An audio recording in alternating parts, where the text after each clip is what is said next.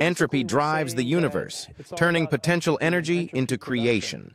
What is entropy? Well, most of us think of it as maybe your house getting messy or death and decay, but it's actually the key to the creation of everything because entropy is actually a very universal force. So anytime you have a gradient difference between temperature or gravity or height or even ideas are included in this, then entropy is trying to move energy and matter as quickly and efficiently as possible. So here we're going to be talking about entropy production. Entropy production means what is the fastest, most efficient way for energy and materials to, to get through. So if you think about, for example, all this fuel and energy that's deep in the earth called crude oil, before humans got to it, it was just sitting there with all this potential energy.